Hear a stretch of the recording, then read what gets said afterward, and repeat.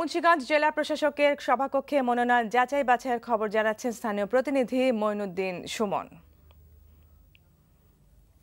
দীর্ঘদিনের যাচাই বাছাই সম্পূর্ণ হয়েছে কাল গতকালই। আজ মুন্সিগঞ্জ পৌরসভার যাচাই বাছাই শুরু হয়েছে।